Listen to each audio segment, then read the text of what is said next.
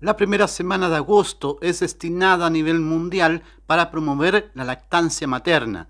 En más de 170 países, donde está Chile, se fortalece esta práctica que según estudios mejora la salud de los bebés. Se han hecho numerosos estudios tratando y en, hace varias décadas se pensó en algún momento que pudiera haber alguna fórmula mejor y esa no existe porque los beneficios no solo son en términos biológicos, sino que como se señalaba, también en términos de apego psicológico hay hay un trabajo eh, que es muy profundo, muy intenso. Las autoridades de salud en el Maule enviaron un mensaje pro lactancia materna.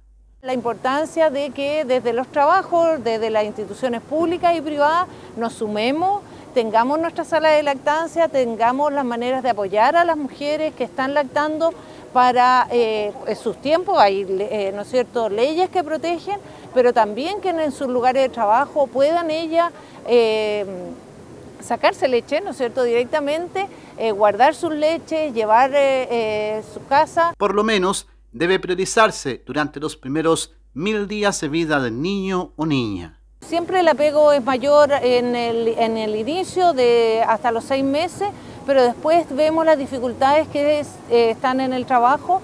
Nosotros tenemos mesas de lactancia y trabajamos durante el año completo en la vigilancia y en el apoyo a que esto ocurra eh, en todo el ciclo, ¿no es cierto?, desde los inicios de la vida. La Organización Mundial de la Salud y el Ministerio de Salud recomiendan la lactancia materna exclusiva hasta los seis meses de vida, sin incluir agua, jugos o infusiones ni alimentos. Luego, incorporar alimentación apropiada para la edad.